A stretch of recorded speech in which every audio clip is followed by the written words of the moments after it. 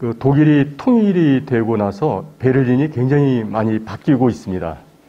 그 베를린 같은 경우가 이제 그 동독과 서독으로 바뀐 그 상황에서 오랫동안 침체를 겪고 있다가 통합이 되면서 어 그 새로운 그 문화가 그곳에서 싹이 트고 있는데요. 그런 내용들을 오늘 그 독일 지역에서 19세기 이후부터 어 발생한 신고전주의, 특히 그리스 건축에 대한 리바이벌에 대한 내용을 갖고 중점적으로 다뤄보도록 하겠습니다. 제목은 어, 독일의 그 건축과 고전주의 미학이 되겠고요. 어, 가로 열고 베를린으로 되어 있는데 베를린에 대한 내용이 주가 되지만은 앞부분에서는 어, 독일 민족과 관련돼서 문화적 열등 국가였던 독일이 18세기 이후에 유럽의 문화를 갖다 이끌어 나가는 어, 커다란 역할을 하게 된 그 배경에 어, 게테와 실러가 있기 때문에 어, 그 앞부분은 다이마르로 어, 가보기로 하겠습니다. 자, 오늘 그 주제로 다룰 내용들을 간략하게 적어봤습니다. 자, 건축에서 고전주의라는 것이 무엇인가? 우리가 어, 문학이라든지 예술을 다루면서 고전이라는 말을 굉장히 많이 쓰, 게 되는데요. 어떤 분야의 최고의 어떤 그 예술적 가치라든지 문학적 가치를 지녔을 때 그 분야의 최고의 어떤 고전적 이라는 고전이라는 말을 붙이기도 하고요. 미술사나 건축사에서는 그보다는 그리스 로마 예술을 지니고 있는 형식미를 계승할 경우를 보통 아, 고전주의 건축 혹은 고전주의 미술이라고 얘기를 합니다. 아, 서양의 그 미술과 건축은 어, 그리스에서 어느 정도 형식을 갖춰서 로마를 거쳐서 그것이 리바이벌된 르네상스와 바로크를 거쳐서 오늘날 서양 문화의 근간을 이루고 있는데요. 자, 그런 측면에서 그리스와 로마 건축을 계승한 고전주의가 어, 독일에 어떻게 투영되고 나타나고 있는지 어, 세부적으로 들어가기 앞서서 어, 도시의 규모는 아주 작지만 6만 정도밖에 되질 않지만은 바이마르라는 도시가 어, 게테가 살았을 당시에 유럽의 문화 예술의 중심지로 작동을 했기 때문에 어, 바이마르를 조금 산책을 해보겠습니다. 그 다음에는 이제 고전 건축이 어떤 그 조형적 언어를 가지고 있느냐. 우리가 이제 여기서 언어를 사용, 언어라는 말을 사용했는데요. 어린아이가 이제 말을 배우면서 자기의 논리를 구체화시킬 수 있듯이 건축이라는 것도 그 건축을 구성하는 어떤 형식을 갖다가 체득해야만 어, 그 원리에 의해서 하나의 그 스타일이 구축이 되고 그런 스타일의 질서가 구축이 되게 되는데 그와 같이 하나의 건축물을 만들어내는 조형 형식을 어, 일종의 언어라고도 얘기를 합니다. 그래서 그 이따 세부적으로 다시 한번 말씀을 드리겠고요. 세 번째는 독일 신고전, 신고전주의 건축의 계보가 어떻게 되는지. 어, 신고전주의라는 것은 네오클래시시즘이라고 보통 영어로 표기를 합니다만 르네상스와 바로크 예술이 아, 아, 바로크와 로코코 예술이 너무나 화려하고 진부한 나머지 1800년대를 전후한 시기에 유럽에서 조각과 미술과 건축에서 동시에 고전주의 미학을 어, 다시 부활하는 운동이 일어나게 됩니다. 이제 그 새롭게 일어난 고전주의를 네오클래시시즘, 신고전주의라고 얘기를 합니다만 오늘 어, 살펴보는 독일을 중심으로 해서 프랑스와 또 바다 건너 미국에서까지 신고전주의 운동이 건축에서 활발하게 일어납니다. 또 신고전주의 영향이 그리스 로마 건축에 대한 그 해고라고 했을 때 특히 1800년대가 되면 그리스 예술에 대한 그리스 건축에 대한 복고주의 현상이 굉장히 강하게 나타납니다. 그 그리스에 대한 그 관심은 1800년대 이전까지 별로 그다지 활성화되지 못했습니다. 그리스가 저 오스만 투르크족에 의해서 점령당하기도 하고 끊임없이 오늘날 터키와의 어떤 전쟁터였기 때문에 위험성도 있었고 또 유럽을 여행하는 그랜드 투어의 그, 저, 유럽인들이 최종 목적지가 로마 또는 남쪽으로 더 내려가면 나폴리 정도였습니다. 그 나폴리에서 더 바다 건너 그리스까지 가기에는 엄두를 못 냈던 거죠. 그런데 1800년대부터 그러한 그 그리스 아테네를 흠모하는 또 아테네를 가보고 싶어하는 이런 현상들이 발생하는데 우리가 역사에서 알다시피 1800년대 이후부터 아테네의 그 그리스 문명이 발굴이 되기 시작을 합니다. 그래서 이 그 그리스에서 발굴된 유적들 혹은 그 그리스 지역의 산재에 있던 그 유물들을 영국인이라든지 독일인이라든지 그 가서 그 물건을 이렇게 저 갖고 들어와서 그것을 자국의 예술품으로 삼는 이런 경향들이 나타나는데요. 그리스 건축에 대한 복고주의 현상도 살펴볼 거고요. 어, 이제 마지막에 가서는 베를린 신고전주의 건축이 주로 베를린의 미술관에 주로 나타나게 됩니다. 특히 최근에 아모레 퍼시픽 용산 그 타워를 설계한 데이비드 치퍼필드라는 건축가가 제임스 아, 시몬 갤러리를 그 오픈했는데요. 그 디자인을 보면서 고전주의가 어떻게 현대에 재해석되고 있는지 이렇게 전체적으로 살펴보겠습니다. 자, 바이마르로 갑니다. 자, 지금 보는 이 그 뒤에 있는 건물이 바이마르 궁정극장입니다. 그러니까 게테가 살았을 당시에는 궁정극장이었고요. 지금은 이제 국립극장, 내셔널 티어터로 되어 있습니다. 자, 이 앞에 동상이 있죠. 자, 이 동상의 주인공들 조금 이따 보겠습니다만, 게테와 실러입니다. 그 괴테가 그랜드 투어를 떠난 것이 1786년인데요. 그랜드 투어를 갔다 온 이후에 1791년서부터 26년 동안 이 바이마르 궁정 극장의 그 총 책임자가 됩니다. 여기에서 로엔그린이 초, 초연이 됐었고 또 리스트라든지 음악가들의 공연도 있었고 또 실러와 괴테가 직접 자기가 쓴 악극들이 여기서 공연이 되기도 했던 그야말로 바이마르의 예술의 총 그 집합체라고 볼 수가 있습니다. 자, 이 바이마르는 도시를 한번 그 위치를 살펴볼 텐데요. 보통 우리가 이제 그 독일을 여행하게 되면 비행기를 타고 주로 이제 도착하는 곳이 프랑크푸르트죠. 프랑크푸르트에서 이제 그 여행을 시작하게 되는데요. 프랑크푸르트에서 이 바이마르와 예나를 거쳐서 라이프치히를 거쳐서 드레스덴을 거쳐서 베를린으로 가는 이 코스들을 이제 많이 택하게 되는데요. 특히 베를린 저 독일 지역에서는 뭐 로맨틱 가도, 괴테 가도 뭐 이런 가도라는 말을 되게 씁니다. 하나의 테마가 있는 그 저 이 도로라는 얘기죠. 특히 이제 독일을 렌트카로 여행하다 보면 유럽의 대부분의 그 나라들이 반드시 톨게이트에서 돈을 내는데 독일만큼은 free입니다. 그래서 렌트카로 그 여행하기가 가장 좋은 나라인데요. 이 바이마르, 라이프치히 밑에 있는 요 바이마르를 오늘 주목을 해보기로 하겠습니다. 자, 그, 요건 참고로 그냥 말씀을 드렸는데, 요 카를로비 바리, 옛날에는 카를스바트라는 그 곳인데, 요건 온천 도시입니다. 그 바이마르에서 추밀 고문관으로 26살 때 장관급에 오른 게테가 거기서 한 10년 동안 정치를 하다가 어느 날 갑자기 야반 도주합니다. 이 온천에 왔다가 이 그 현재는 이 그 카를로 바리는 체코 땅인데 이곳에 온천에 왔다가 새벽에 3시에 마차를 타고 알프스를 넘어서 이탈리아 여행을 떠나게 되죠. 그 도시가 이제 여기 있고요. 그 다음에 예나는 아주 유명한 대학 도시죠. 그 다음에 이제 요 라이프치는 뭐 우리가 너무나 잘 알고 있듯이 바흐가 활동했던 도시고 또 실러와 게테가 모두 이곳에서 교육을 받았습니다.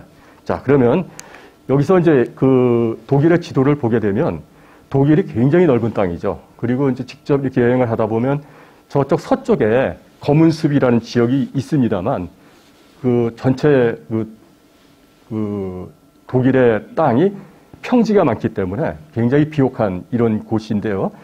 특히 지금 빨갛게 표시된 데가 티빙겐이라는 주인데요. 우리나라로, 우리나라로 따지면 이제 뭐 충, 충청북도 정도 되지 않나 싶습니다. 거기에 이제 바이마르가 있습니다.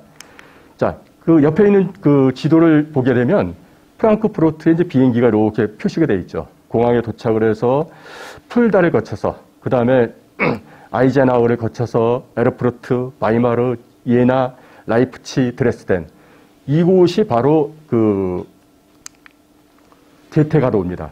괴테가 한 번, 한 번은 살았던, 거처했던, 머물렀던 장소들이죠. 게테는 프랑크푸르트에서 태어나고요. 그 다음에 이제 라이프치에서 교육을 받고, 그 다음에 무려 생애의 절반 이상을 어디서 보내느냐. 인구 6만 밖에 안 되는 바이마르에서 보냅니다. 그러니까 프랑크푸르트를 보게 되면 마인강이 흐르는 그 도시가 굉장히 큰 도시죠. 자, 그런데 왜 이렇게 6만 밖에 안 되는 작은 도시에서 게테가 무려 인생의 절반을 보냈을까? 이런 내용을 같이 우리가 살펴보기로 하겠습니다. 자, 게테의 이제 시티맵입니다. 아, 저, 바이마르의 시티맵입니다. 그, 지금 보는 요것이, 여기에 화살표에 되어 있는 요 광장이, 요 광장이 떼어터 광장. 우리가 극장이 있는 광장이라는 뜻이겠죠. 바로 요 빨간 건, 요, 요, 요 건물이 어, 궁정 극장입니다. 그 앞에, 그 앞에 이제 그 실러와 괴테의 동상이 있고, 요 뒤에 바우하우스 박물관이 있었는데, 요 바우하우스 박물관이 그 2019년에 그 옮겨갑니다. 어디로 옮겨가느냐 하면, 그 요곳으로, 이곳으로 옮겨갑니다. 바우하우스 하면 세계적인 오늘날 근대 디자인 교육의 산실이 되는 최초의 근대 디자인 학교라고 볼 수가 있습니다. 1919년 월터 그로피우스에 의해서 최초로 개교가 되는데 최초로 개교된 곳이 어디냐? 바로 바이마르입니다. 자, 바이마르에서 5년 동안 교육을 하다가 이 바이마르 정부가 이제 그 더 이상 지원을 못하겠다 해서 데스사우라는 지역으로 옮겨가게 되는데요. 그거는 다음 주 시간에 조금 더 상수를 하겠습니다. 자, 요 광장, 요 그 띠어터 광장이 여기에 있는데요. 요 광장의 모습을 지금부터 보기로 하겠습니다. 자, 이렇게 사람들이 가장 많이 모여 있는 장소. 워낙 그 자그마한 도시이기 때문에 뭐 이 광장도 그다지 큰 규모는 아닌데 가장 그 여러 길들이 만나는 결절점에 위치하고 있습니다.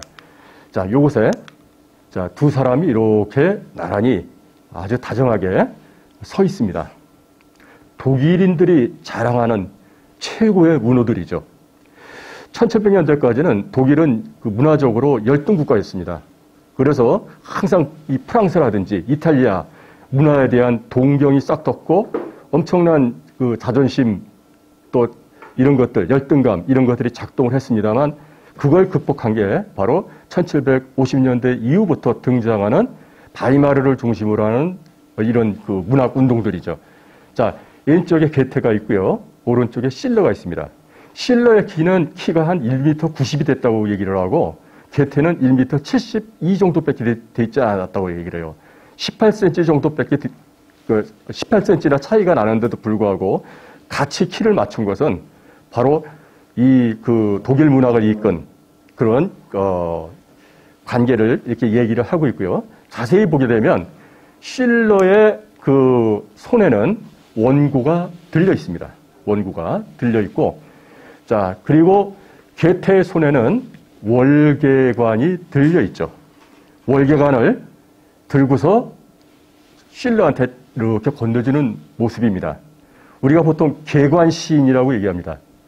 개관시인, 그 뜻이 바로 문학의 최고왕한테 그리스 시대 때 씌워주던 월계관. 그러니까 이 최고라는 얘기죠.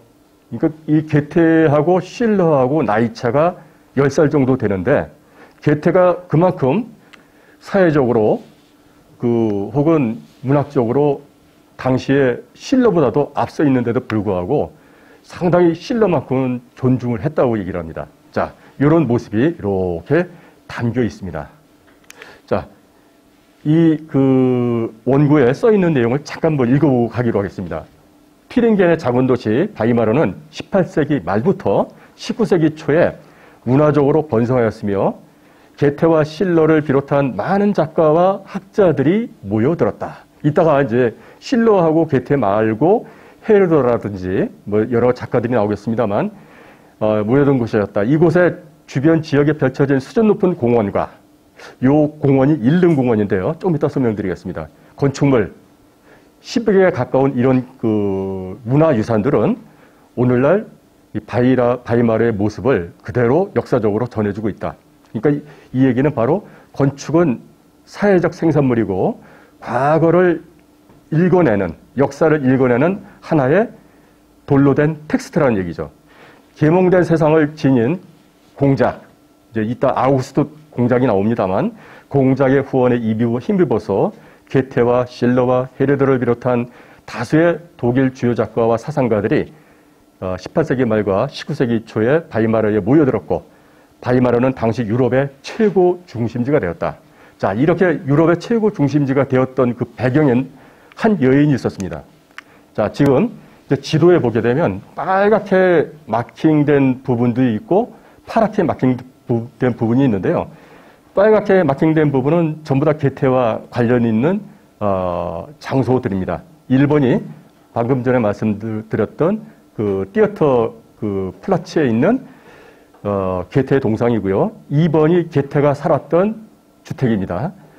그 다음에 저 4번이 4번이 그 잠시 후에 세부적으로 살펴볼 안나 아말리아 도서관인데요.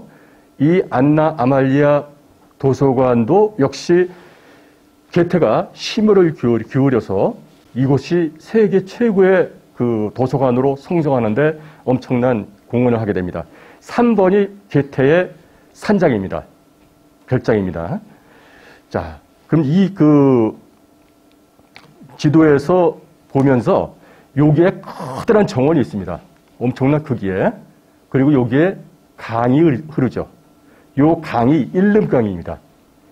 이제 ILM 강 이름이 이제 일름강이라고 해서 일름강의 이 구성 형식을 보면 이 정원은 그 우리가 1주차에 그 미술과 건축 어, 저 풍경화를 거닐다 뭐 이런 주제로 할 때 영국식 정원과 프랑스식 정원이 17세기, 18세기에 들어오면서 심한 경쟁을 하게 되는데 처음에는 기하학적으로 구성된 프랑스식 정원이 유행을 하다가 그 1740년대 이후에는 영국식 정원이 이제 유럽을 갔다가 강타하게 된다. 매년에 가면 거대한 영국식 정원이 있고 역시 이곳에도 영국식 정원이 이렇게 펼쳐져 있습니다. 자, 일릉공원에 바로 개태 사장, 사장도 좀 이따 가보기로 하겠습니다. 자, 여기가 이제 바로 그 뒤에 있는 그 정원이 그 일름 공원인데요. 공원으로 가는 그 앞에 광장이 있습니다. 이 광장에 동상이 김화상이 서 있고요. 뒤에 건물이 있습니다.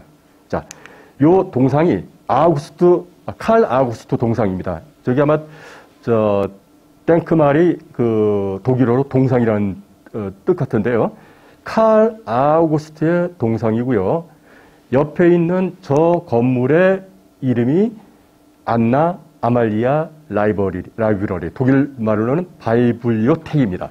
자, 안나 아말리아와 칼 아우구스트 두 사람이 나옵니다. 이 두 사람이 바이마르를 독일에서, 유럽에서 가장 유명한 학술 높은 이런 그 문화예술의 중심지로 만드는 중심 역할을 하게 됩니다. 자, 저 안나 아말리아 라이브러리로 진입을 해보겠는데요. 자, 뒤에 있는 그 건물, 저 건물 입구로 이제 들어가게 되면은, 가게 되면 이와 같은 내부가 로코코 장식으로 장식된 도서관과 만납니다.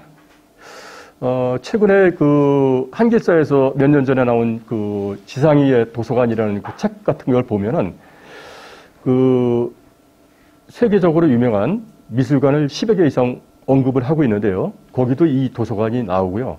그 다음에 다음에 아마 이제 바로크 예술을 할 때, 로코코 예술을 할 때, 울룸에 있는 그 수도원에 있는 그 수도 저 라이브러리를 한 번 더 소개를 할 것 같습니다만 도서관이라는 그런 그 하나의 시스템이 1700년대 중반 이후에 이제 그 구축이 됩니다. 이유가 있겠죠. 과거에는 양피지의 그, 저, 글을 써서 어, 책을 만들었기 때문에 과거의 도서관은 다 수도원 안에 있었습니다. 수도사들이 필경사를 맡아보면서. 그러나 1450년대 이후에 그 인쇄술, 구텐브르크의 인쇄술이 발명이 되고 책이 급속하게 확산이 되면서 1600년, 1700년 되면 이 독일이라든지 유럽의 제후들이 그 책을 모으는, 모으기 시작을 합니다. 그래서 도서관이라는 게 나오죠. 이 도서관이 유럽 곳곳에 활개를 칠 때 그 시기가 바로 로코코 시대였습니다. 자, 로코코 시대의 화려한 장식들이 이렇게 아, 구성이 되고 있는데요. 자, 이 그 사진을 보면 여기에 정면에 정면에 저 사진이 한 장, 초상화가 어, 그려져 있고요. 여기에 조각들이 있습니다. 요 두 개의 조각을 예술품을 한번 같이 이렇게 연결시켜 보기로 하겠습니다. 자, 요 다른 각도에서 찍은 이 사진을 보게 되면 저기 서 있는 사람이 칼 아우구스투스입니다. 방금 전에 기마상의 주인공이죠. 그 다음에 옆에 있는 이 여인의 흉상, 이 바로 안나 아말리아입니다. 자, 두 사람은 어떤 관계일까? 자, 그, 칼 아우구스트 공작은 1757년도에 태어났습니다. 옆에 있는 안나 아말리아는 1739년도에 태어나죠. 두 사람의 나이 차는 18살입니다. 근데 이 안나 아말리아가 칼 아구스트의 어머니입니다. 자, 그럼 어떤 관계냐? 18살에 첫 아들을 탄생하게 된 배경은 자, 여기에 에른스트 아우구스트 그 2세가 있습니다. 이, 그, 이 당시에 이제 그 바이마르는 작센 아이제나우 바이마르 공국입니다. 세 조그만 그 국가가 합쳐져서 통합된 정치 제도를 취하고 있었죠. 작센 바이, 아이제나우 바이마르 공국에 바로 왕인 에른스트 아우구스트 2세가 아버지가 일찍 죽어갖고 18살에 왕이 오릅니다. 왕이 오르면서 16살 공주였던, 다른 데 공주였던 안나 아말리아와 결혼을 하게 되죠. 그런데 2년, 결혼한 지 2년 만에 이 에르스트가 죽습니다. 아우구스트가. 18살에 그 아말리아가 18살 때 남편이 죽은 거죠. 근데 아들은 둘이 있었어요. 자, 18살 아말리아가 아들이 두 살밖에 안 되니까 어떻게 돼요? 섭정을 해야 되죠. 자, 섭정을 하면서 엄청나게 고민을 합니다. 이 나라를 강국으로 만들기 위해서는 이 그 교육이 중, 중요하다. 또 강대하게 만들기 위해서는 문화예술이 중, 저, 중요하다 해서 이 어린 칼 아우구스트를 교육시키기 위해서 그 시기에 가장 유명한 시인이었던 빌란트를 갖다가 가정교사로 초빙합니다. 그리고 또 한 사람, 요한 헤르도, 아마 독일 민족주의의 가장 유명한 이론가였던 요한 헤르도도 가정교사로 그 끌어들이게 되죠.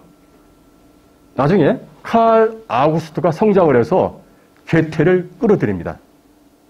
자, 저 칼 아우구스트가 괴테를 끌어들인 이유는 자, 그 당시에 이제 어느 정도 성장한 그 청년들이 그랜드 투어를 따서 따라가서 문화 교양을 익히는 그런 문화가 싹이 트는데 여행을 하다가 프랑크푸르트에 들렸다가 게테를 만납니다. 그래서 나중에 이제 게테를 모시게 된 거죠.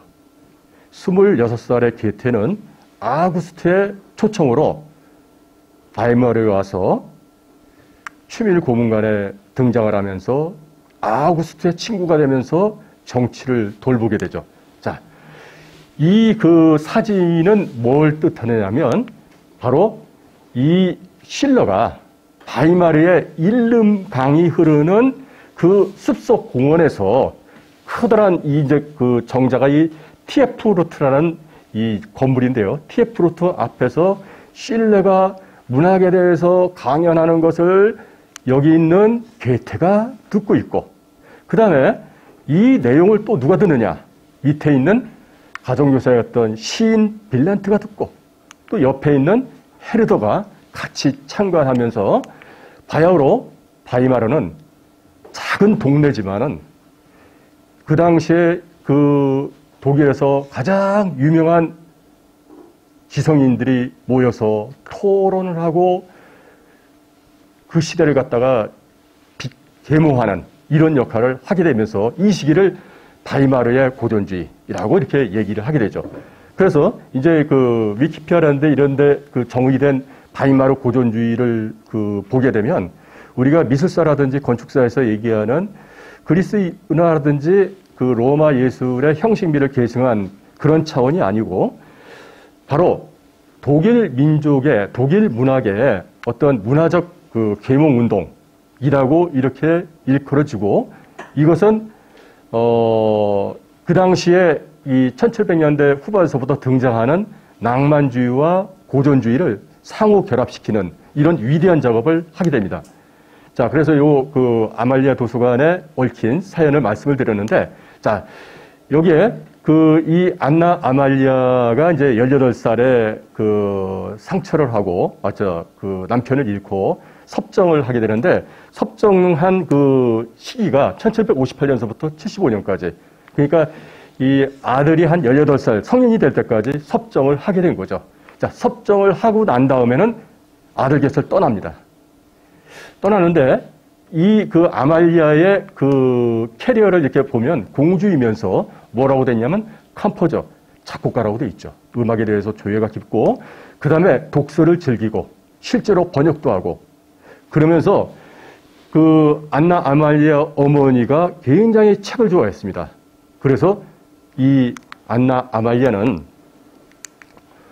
자 굉장히 그 뭐 시라든지 문학이라든지 이런 데 관심이 많았다는 내용이 나오고요.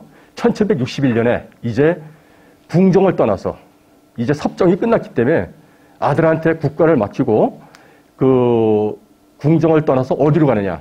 바로 Grünes 어, Schlösschen이라는 little green castle이라는 이곳에 가서 이제 문학 활동을 벌이면서 우리가 이제 프랑스 같은 경우에 이제 이 시기가 살롱 예술이 발달된 곳이죠.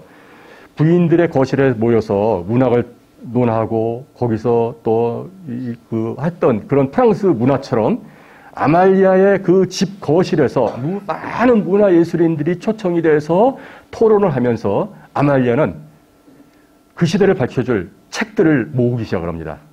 그 책을 모아서 나중에 도서관을 만들죠. 자, 그 도서관이 바로 안나 아말리아 도서관입니다. 자, 이 안나 아말리아 도서관이 아주 치명적인 그런 화제를 입게 됩니다. 2004년 그 여기 이제 그 당시에 그 화제 났던 그 장면이 유튜브 동영상으로 이렇게 남아 있는데요. 이 기록을 보면 2004년 그 밤 9시에 화재가 발생합니다. 나중에 화재의 원인을 분석한 결과 누전으로 밝혀집니다.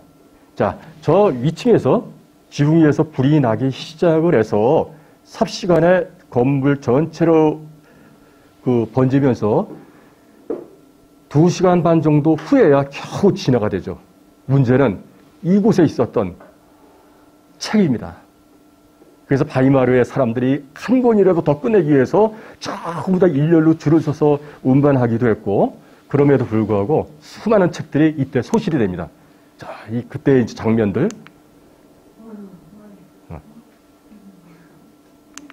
자, 그래서 이제 그 여기에 불타버리고 이렇게 불타고 남은 이런 서리들 2004년도이기 때문에 이제 이렇게 칼라 동영상으로도 남아 있는 거죠. 자, 37.7점의 예술품이 그 화재로 소실이 됐고 그 다음에 5만 권의 책이 소실이 됐고, 그 다음에 그 5만 권은 18세기에 그 관련된 아주 귀중한 문헌들이고 전체 합하면 6만 2천 권이 다 소실이 됐다는 얘기죠. 그래서 전체 85%의 책들이 소실이 됐습니다. 15%만 남고.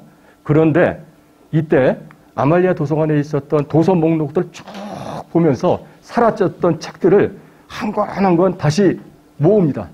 그러니까 그 전 유럽인들이 자기가 이 목록에 있는 그 책이 리스트가 있으면 이곳에 다 이렇게 혼납을 한 거죠. 그래서 2007년도에 가서 2015년도에 아, 가서 이제 완벽하게 마무리가 된 그런 어떤 예, 장소로 이렇게 오늘날 어, 되고 있죠. 자, 이 안나 아말리아 도서관의 이제 그 상황들을 보셨는데요. 이 안나 아말리아 도서관은 그 오픈하는 시간이 대단히 짧습니다. 오전 10시부터 그 1시까지밖에 안 돼요. 그래서 전 세계에서 바이마르는 예술의 도시이기 때문에 많은 관광객들이 몰려들기 때문에 만약에 바이마르에서 체류 일정을 잡으신다고 한다면 사전에 이제 그 안나마니아 도서관에 들어가시면 부킹을 예약을 해야 되고 뭐 다행히 이제 뭐 조금 그 12시 정도 갔을 때 내부 들어가는 인원에 제한이 있기 때문에 여분이 있으면 내부를 감상하실 수 있습니다. 여기 이제 홈페이지에 보면 One of the most beautiful library라고 이렇게 되어 있죠. 자, 그래서 이 도서관 말씀을 좀 드렸습니다. 얘기가 좀 길었네요. 자, 그리고 여기에 보면 아말리아 도서관이 있는데 위치를 보면 요게 일름공원에 일름공원에 바로 이제 그 시작점에 있습니다. 이제 일름공원을 가시게 되면 아말리아 도서관을 거쳐서 이 산장 영국식 정원을 거쳐서 게테에 이제 가든하우스로 이제 들어가게 되는데요. 자, 여기 이제 그 바로 영국식 정원의 그 게테는 그 색채학에도 관심이 있었고요. 그 다음에 스케치 실력도 뛰어났습니다. 그림 작품도 많이 남겼고요.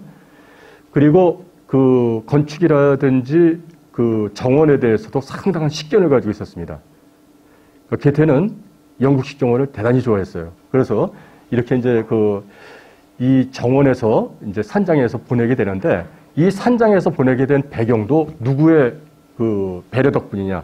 바로 칼 아우구스투의 그 배려 덕분이죠. 그래서 이곳에다가 그, 자, 여기다가 이제 게테는 산장을 짓고 여기서 이제 그 동고 생활에 들어가게 되는데 어, 볼비치오라는 연인인가 막 그렇게 이름이 볼비치오 예. 그 여인과 동거를 하면서 그 평민과 결혼했기 때문에 게테는 귀족이었고요. 사회적으로 상당한 어떤 당시에 파문이 있었기도 합니다. 하여튼 여기가 바로 이제 그 저 아말리아 도서관이고요. 자 그렇게 해서 좀 넘어 이제 가는 길이죠. 영국식 정원이 가지고 있는 아주 자연스러운 그대로입니다. 그리고 이제 그 멀리 게테가 살았던 현재는 게테 박물관으로 되어 있고요. 그렇습니다. 좀 시간이 좀 경과하기 때문에 넘어가죠. 그래서 이제 게테 저 아말리아에 관련된 책을 보면 게테와의 사랑 이것들이 뭐 이제 이런 남녀 관계의 어떤 그런 사랑이 아니라 이런 예술적인 사랑을 뜻하는 것 같습니다. 자, 그리고 그 중심부에는 실러가 살았던 집이 있죠. 1799년도에 실러는 어, 게테를 만나러 이곳에 와서 게테의 배려로 이곳에서 머물다가 예나 대학의 역사학과 교수가 되죠. 그리고 1805년경에 이곳에서 사망을 하는데 그때 게테가 마지막 남긴 말은 이 세상에 나의 절반을 잃었다 할 정도로 게테와 실러는 경쟁자였습니다만 상당히 그 저, 저 친밀도가 높았던 것이죠. 자, 저 앞부분이 조금 길었던 이유가 있습니다. 지금 이제 이곳에 가기 위한 겁니다. 여기는 이제 어디냐면요. 이제 같은 독일 땅입니다만 장소를 이 바이마르에서 독일 서쪽 지역으로 가죠. 서쪽 지역으로 가게 되면 프랑크푸르트가 있고 우리가 이제 그 여행자들이 많이 가는 하이델베르크, 여기 하이델베르크가 있죠, 그죠? 하이델베르크가 있고 밑에 슈투트가르트가 있습니다. 여기에 강이 흐르는데 이게 네카어 강입니다. 네카어 강. 그 다음에 여기가 라인 강이죠.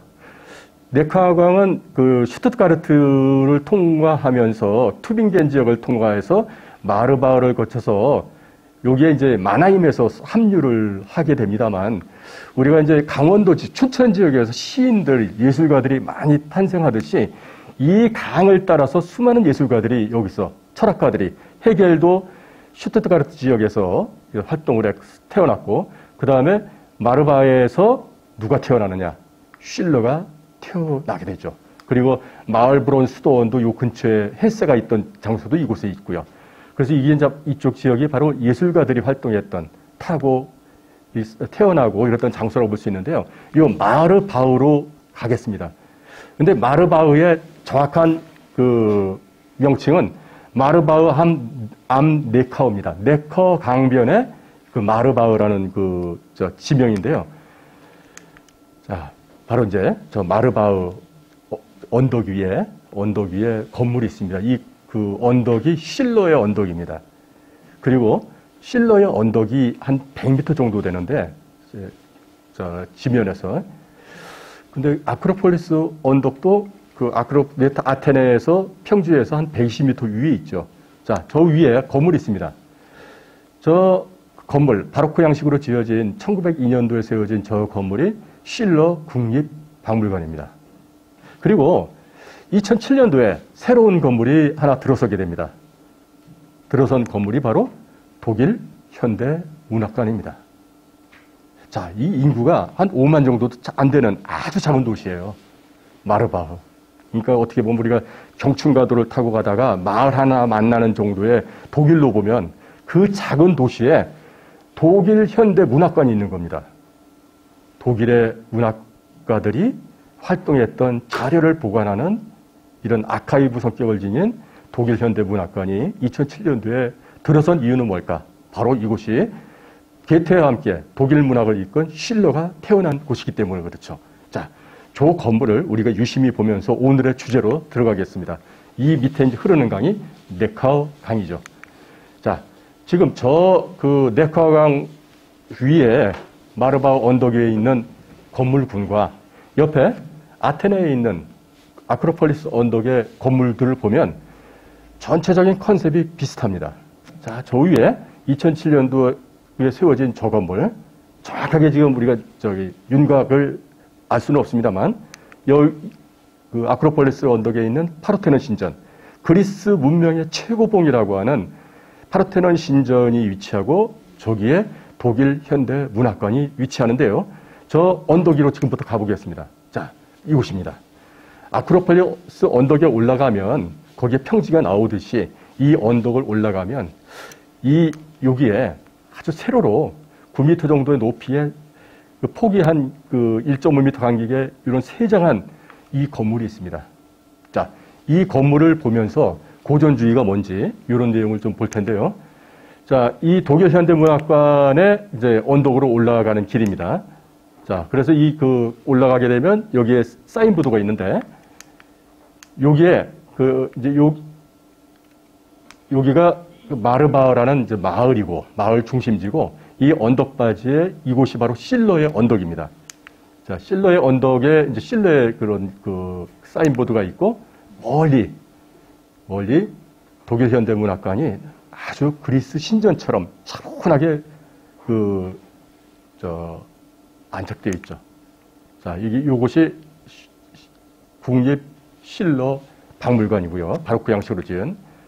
그리고 이 앞에 실러의 동상이 있고, 그리고 저 멀리, 자, 이 건물이 등장합니다. 이 건물을 설계한 사람이 데이비드 치퍼필드입니다. 이 데이비드 치퍼필드는 현대 건축, 건축가 중에서 가장 주목받는, 그 우리나라에는 그래서 용산에 그 아모레퍼시픽 그 본사 빌딩을 세운 그 주인공이죠. 왜 이렇게 치파필드는 독일 현대문학관을 세로로 기둥이 나열되어 있는 이와 같은 모습으로 설계했을까?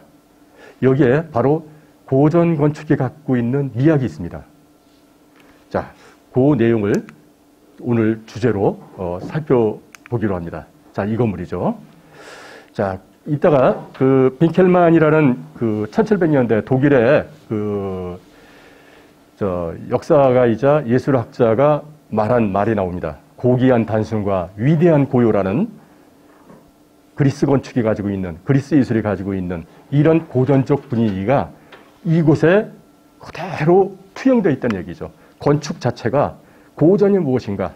그리고 마치 가장 인류 문화에서 꽃피었던 장소가 그리스 아테네였듯이 독일이라는 나라가 실러를 배출함으로 해서 가장 그 문학적으로 이렇게 그 자리 잡을 수 있는 그런 메시지가 이게 담겨 있다는 얘기죠.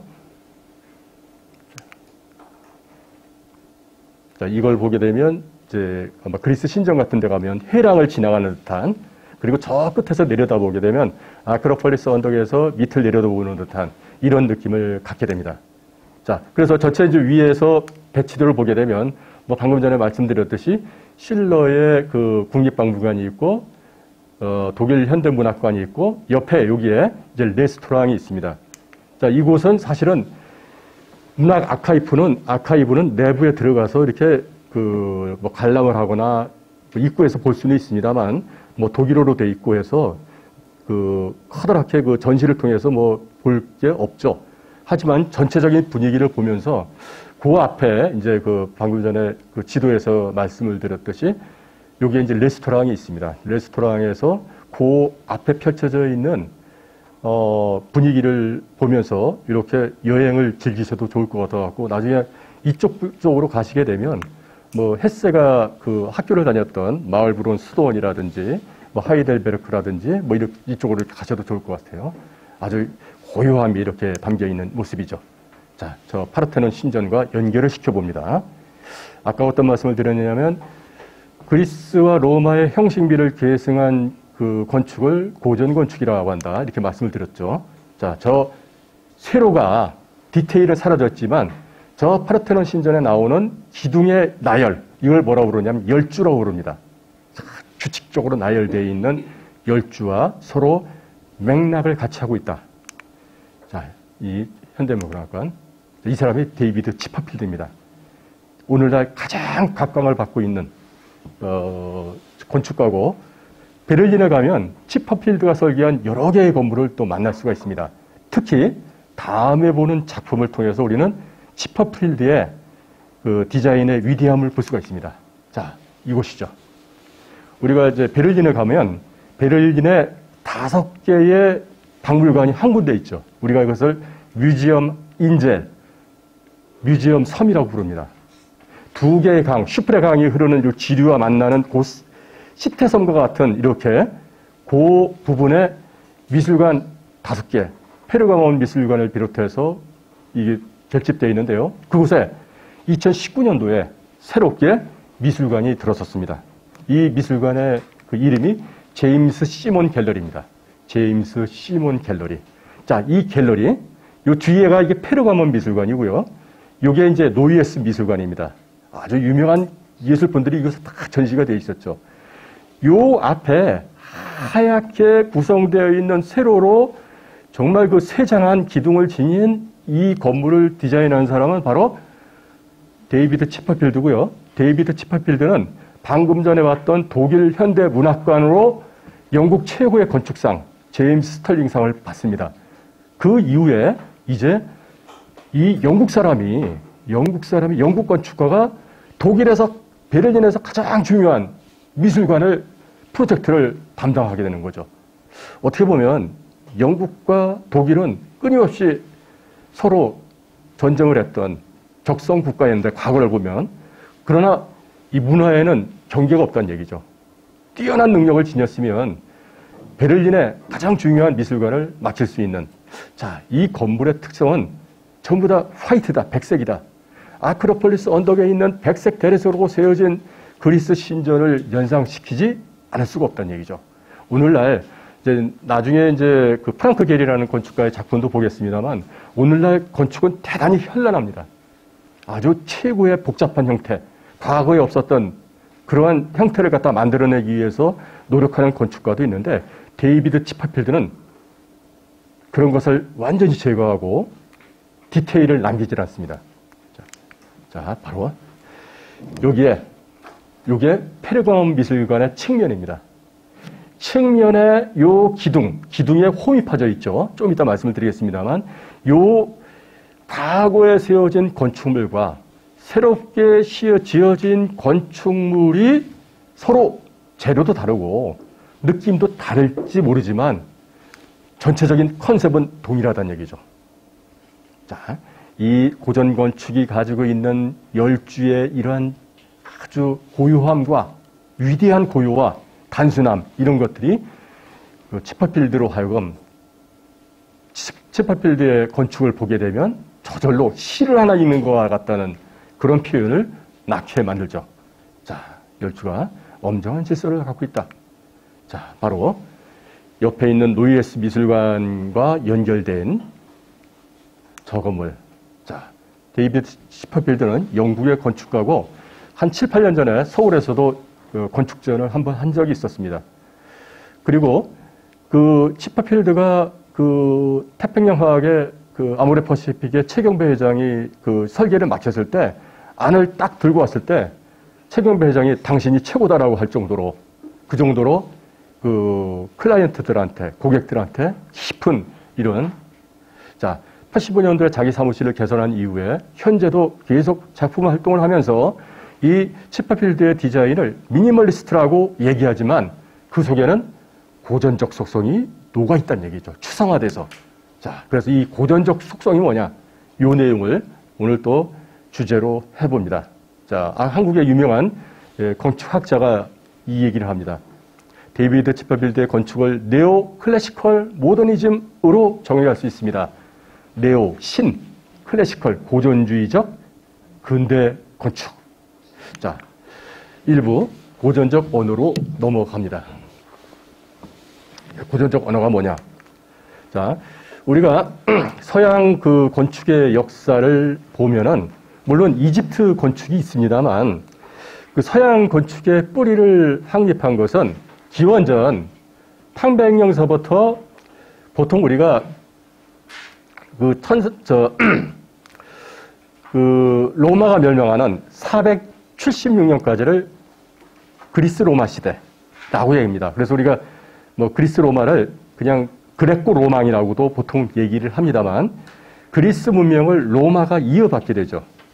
그런데 실질적으로 기원전 800년경에 바로 그 이탈리아 반도 아테네에 사람이 살아서 거기서 문화를 발전시키지만 그 문화가 농염하게 하나의 그 최고의 그 질서로 형식으로 자리 잡은 것은 기원전 430년서부터 450년 사이입니다. 기원전 430년서부터 그 시기에 그 430년 한 50년 전에 60년 전에 바로 페르시아 전쟁이 있었죠. 페르시아가 아테네를 두 번이나 그 침공을 하죠. 그러나 살레미스 해전에서 한 번은 무찌르고 한 번은 마라톤 전투에서 무찌르고 해서 페르시아의 군대를 무찌르고 평화로운 시대를 맞이했을 때 그 시기에 그리스 예술은 전성기를 맞이합니다. 이때 바로 430년서부터 파르테논 신전이 아크로폴리스 언덕에 세워지게 되죠. 자, 그리 그 시대에 조각, 회화, 문화 이것이 완전히 집대성됩니다. 그래서 우리가 이 시기를 그리스 로마 시대라고 일컫고요. 476년에 로마가 멸망하고 난서부터 1400년대까지를 어, 중세라고 보통 얘기를 하죠. 자, 중세가 끝나는 1400년 정도 되면은 이제 르네상스가 200년 동안 1600년대까지 지속이 되고 1600년대에서부터 이제 그 루이 14세가 죽는 1715년까지를 보통은 바로크 또 그 이후를 로코코 로코코가 일어나는 그 시기의 말미가 바로 프랑스 대혁명이 일어난 1789년이고 이 프랑스 대혁명이 그 일어난 이후에 새로운 고전주의가 나오죠. 그것을 우리는 신고전주의라고 얘기를 합니다. 네오클래시시즘이라고 얘기를 합니다. 자, 이 네오클래시즘이 오늘 요 1760년대 이후가 바로 괴테가 살았던 시대, 실러가 살았던 시대, 이 시기와 서로 맞닥뜨려 있고, 그 다음에 이제 그 유럽의 국가들이 왕정 체제에서 서서히 벗어나서 민족주의가 싹이 트면서 이 자립할 수 있는 근데 그 자립할 수 있는 그 배경에 문화 예술을 갖다가 강화시켜야 되겠다는 그러한 의욕을 갖게 되는 시기가 바로 이 1760년대 이후라고 보면 됩니다. 자, 그러면 여기에 그 고전 건축을 이해하는 하나의 그 키워드로 합리를 얘기를 해봅니다. 합리. 우리가 합리주의라는 말을 얘기를 하죠. 1700년대 데카르트서부터 합리주의가 나오게 되는데요. 저 합리주의를 설명을 할 때 그 청소년 그 철학을 그 강의했던 그 도울 선생이 이렇게 얘기를 합니다. 어렵게 이해하지 말고 이가 들어가는 세 단어를 떠올려 보자. 논리, 수리, 이성. 요 이가 들어가는 세 개를 합하면 합리가 된다. 즉, 예술이, 건축이, 조각이 작품을 만들 때 논리적이고 수학적이고 이성적으로 접근하면 그것은 합리주의가 되는데 그 합리주의적 속성을 가장 잘 표현했던 시기가 언제냐? 그리스 로마 시대다. 굉장히 논리적이고 수학적이고 이성적인 접근. 그것을 위해서는 우리는 보통 어떤 논리적 방법론이 있어야 되겠죠. 그것이 바로 형식미입니다. 형식미는 그, 자, 조금, 여기에 이제 그 합리주의라는 그 영어 단어가 레셔널리즘입니다. N이 아니고 알레이티아요인데요.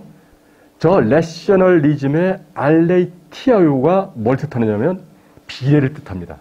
비례. 그래서 우리가 그 서양 건축에서 서양 예술에서 가장 중시하는 비례를 황금비를 얘기하는데요. 황금비의 영어 표현은 골든 프로포션인데 라틴어로 얘기할 때는 골든 레티오라고 얘기합니다. 레티오.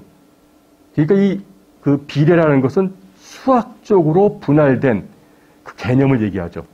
자, 그래서 이 그 고전적 언어를 그 조금 더 건축적으로 해석을 하면 어 서양 건축사에서 건축 전공자들이 얘기할 때 대단히 이해하기가 힘든 측면인데요.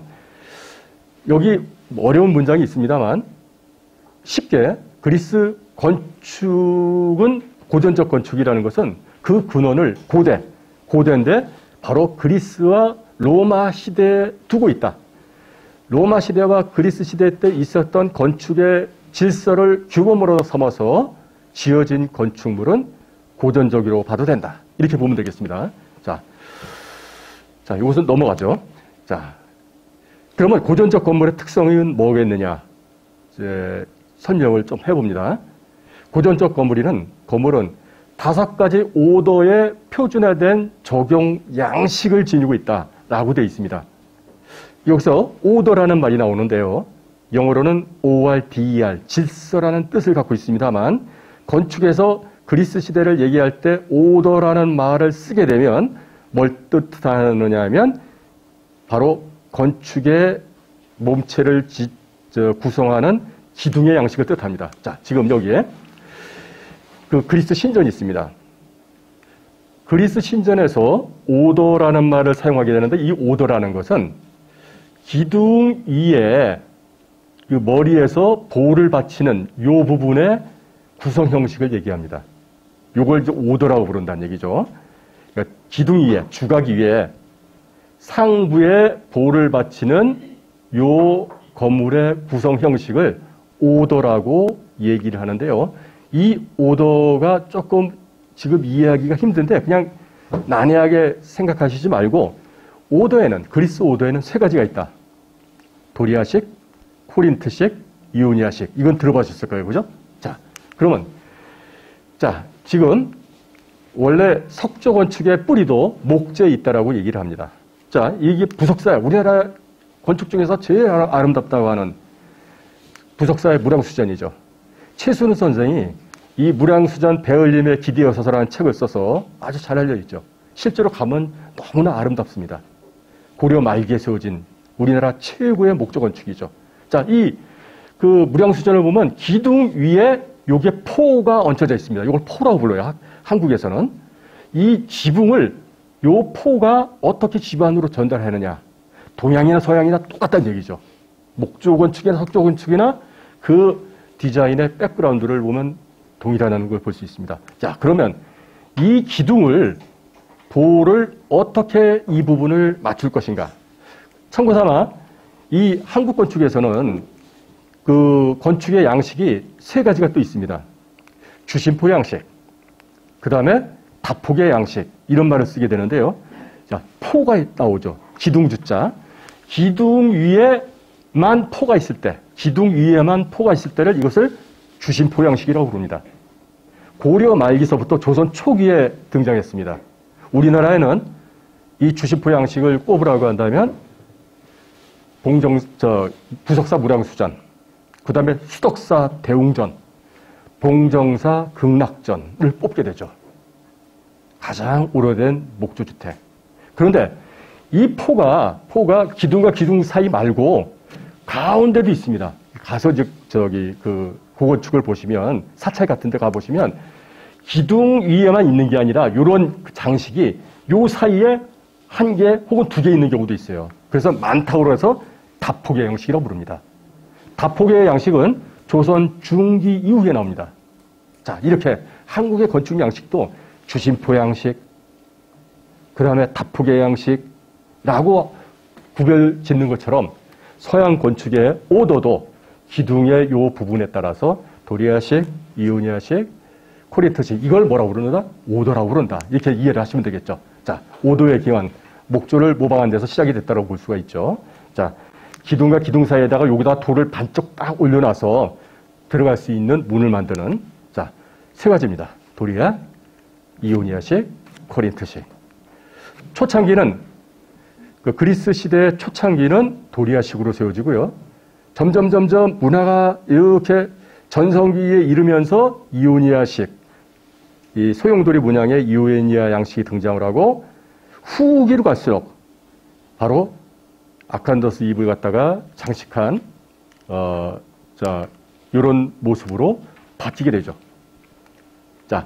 자, 요세 가지 방식이 그 그리스 시대 때 사용되었던 방식인데 그리스 문명은 이제 로마인들이 그 정복을 하면서 로마가 그리스 양식을 끌어들이죠. 그런데 로마인들은 거기다 두 개를 더 더합니다. 뭘 더하느냐?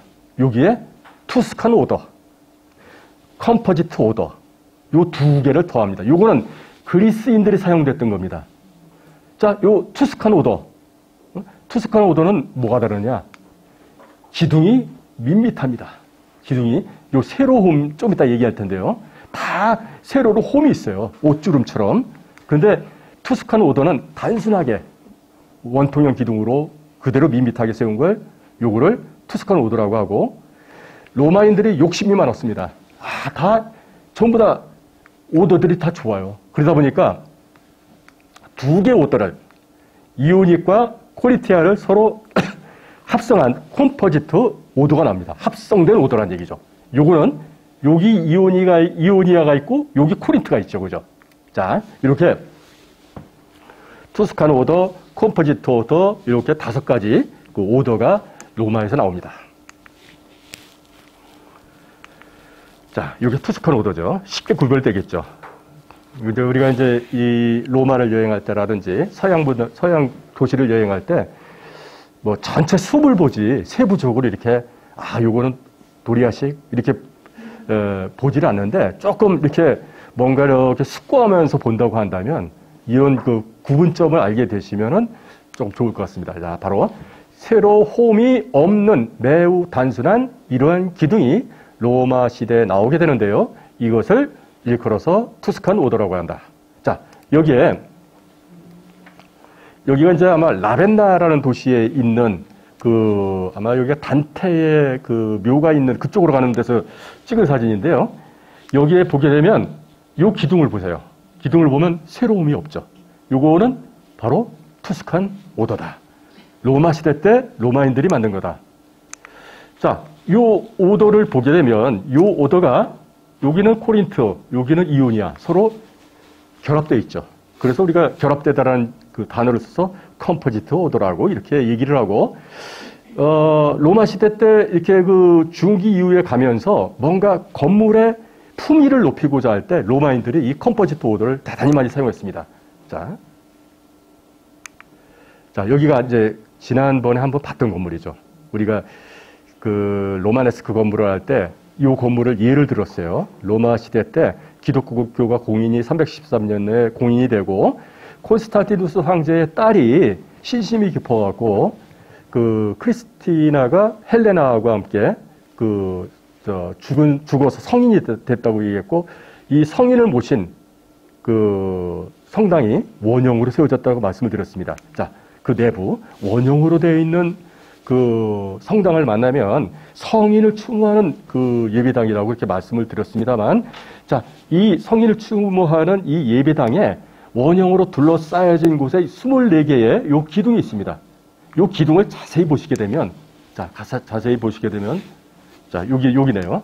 여기는 조금 빛이 들어와서, 여기에, 여기에, 자, 요 기둥이 이오니아식이 있고, 여기에 아칸저스입 있죠. 그리고 쌍기둥이 들어가죠. 이렇게 로마인들은 나름대로 그리스인들의 그런 방식들을 조금 더 나름대로 해석을 해서 composite order를 만들어낸다. 자, 이 composite order. 자, 요거, 저, 저, 그, 코스탄자 성당의 기둥을 이렇게 수채화로 그린 이걸 보면 그 양머리처럼, 양의 뿔처럼 소용돌이 치는 이오니가 있고 코린트가 있습니다. 자, 이렇게 Composite order. 이게 다섯 개가 로마 시대 때 사용되었던 오더다. 예. 자, 그래서 요, 여기에 대해서 말씀을 드렸고요. 그 다음에 건물을 구성을 할 때, 그 그리스 시대 때 사람들은 어떻게 구성을 하게 되느냐. 삼각형 지붕이 있고요. 그 다음에 보가 있고요. 그 다음에 기둥이 있습니다. 이렇게 세 개로 다 구성이 되죠. 아마 이런 건물을 왜 말씀을 드리냐면 이 건물이 그냥 그리스 로마 시대로 끝나지 않아요. 인류 역사 내내 다시 등장하고 또 등장하고 또 등장합니다. 아마 여러분들이 덕주, 덕수궁에 가보면 석조전이 있을 거예요. 그죠? 또 경리대학교 가면 또 이런 건물 캠퍼스에 있습니다. 그죠? 자, 이 건물의 삼각 지붕을 페디먼트라고 부릅니다. P-E-D-I-M-E-N-T. 그런데 한국권 쪽에서는 이 삼각 지붕을 박공 지붕이라고 불러요. 박공. 그런데 한국하고 동양하고 서양하고 차이점은 서양 건축은 박공이 있는 삼각형 부분으로 진입이 이루어집니다. 그런데 한국 건축에서는 가만히 사찰이라든지 고궁의 집을 생각해 보면 이 부분은 측면이 되죠. 옆에서 긴 척에서 들어오게 되죠. 자, 그리고 요 보호가 있는 부분을 엔타블로체어라고 하고요. 요걸 포티코라고 얘기합니다. 요거는 그냥 뭐 이렇게 알아주시면 될 것 같은데. 자, 요게 이제 이따가 나올 그 메넨에 있는 건축물을 소개를 하면서 다시 한번 나올 텐데요. 이 보가 이제 디테일을 가지고 있습니다. 디테일. 요 보가 전체가 위에서부터 아래까지를 전부 다 entablature라고 얘기를 하는데 entablature는 세 군데로 다시 분할이 됩니다. 가운데 부분을 우리는 프리즈라고 불러요. 프리즈는 다시 세 개로 되어 있는 트리글리프와 비어 있는 메토프로 나뉘게 되는데 요 메토프 부분에 장식들이 들어갑니다. 지금은 안 들어가 있지만 자 요런 디테일을 가지고 있다. 요런 디테일을 사용하게 되면 고전적인 취향을 갖게 된다. 그래서 이러한 그 형식을 1800년대 프랑스에서 1800년대 후반까지 가르쳤습니다. 그것을 일컬어서 우리는 보자로 교육이라고 하죠. 이제 프랑스에 가면 보자로 미술 학교가 있습니다. 보자로 미술 학교에는 회화도 있고 건축이 있는데 그 보자로 건축 학교의 교육 과정은 전부 다 그리스 시대 때, 로마 시대 때 있어 왔던 이런 것들을 카피하는 거예요. 자, 그 정도로. 자, 세로로 세개가 된 것이 트리글리프고 요게 메토프다. 요걸 말씀을 왜 드리냐면 여기에 메토프에 들어간 조각들을 전부 다 영국 사람들이 떼어서 어디다 갖다 놨느냐? 대영박물관에 갖다 놨죠. 자, 그죠? 자, 예? 요 프리즈에 들어간 것들. 자, 여기 프리즈. 자, 그런데 유럽에 뭐 3, 4년 전 강의할 때도 이건 말씀드린 것 같은데요. 자, 비, 비엔나, 나중에 비엔나를 하겠습니다만, 비엔나에 가보면 거기에 빈 세제션 빌딩 지하에 요 벽화가 있습니다. 이 벽화를 그린 사람이 구스타프 클림트죠. 클림트의 이 작품의 제목이 뭐냐? 베토벤 프리즈입니다. 베토벤 프리즈. 자, 베토벤의 마지막 9번, 아, 9번 교향곡 4악장, 실러의 환희의 송가를 갖다가 주제로 해서 클림트가 그림을 그린 게 여기에 그대로 되어 있는데, 요 작품을 왜 베토벤 프리즈라고 했을까?